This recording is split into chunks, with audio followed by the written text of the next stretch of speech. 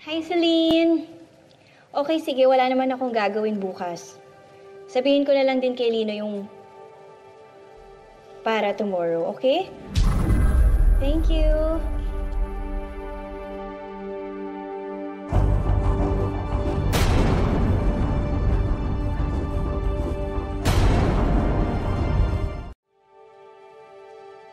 At hindi mo sinasagot mga tawag ko.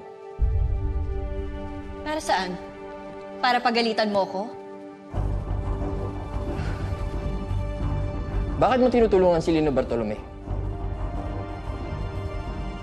Hindi ka nahiya sa mga tao? People are already accusing you of cheating with him.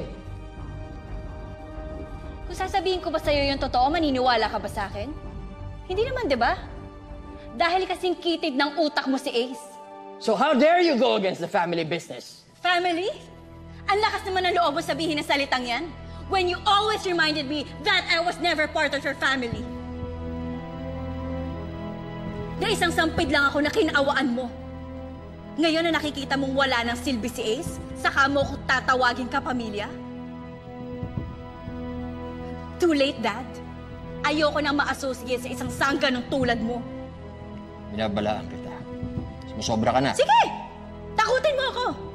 Diyan ka lang naman magaling, di ba? Takutin ako. I'm sorry, Dad. Tapos na ako dyan.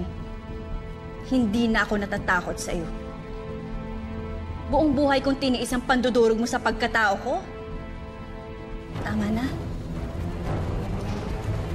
Hindi pa ako tapos sa'yo.